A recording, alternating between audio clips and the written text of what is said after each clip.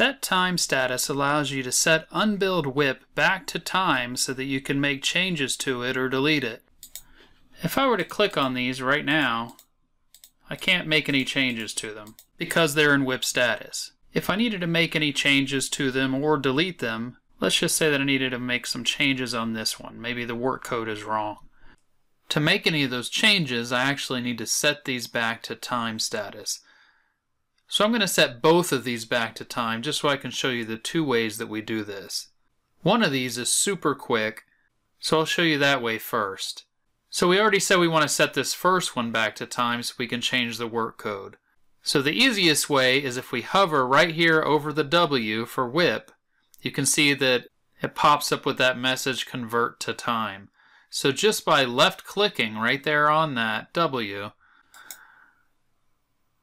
it converts it back to time, changes it to green, and puts that T in the journal column. So this first line right there has been converted back to time. And that would allow me to go ahead and change the work code or do whatever other changes I needed to it. The other way of changing back to time status is by clicking on the checkbox, coming up to the actions, and choosing set to time status.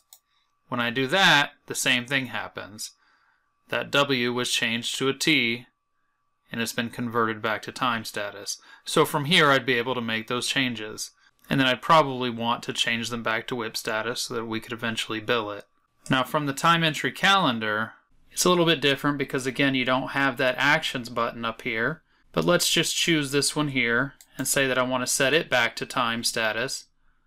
You can see that that option is right here, set time status. So all I would have to do is click the button and you can see it went back to green time status. To make my actual changes to it, I would have to go back to the grid though and go to the 17th, make my changes, and then set it back to WIP.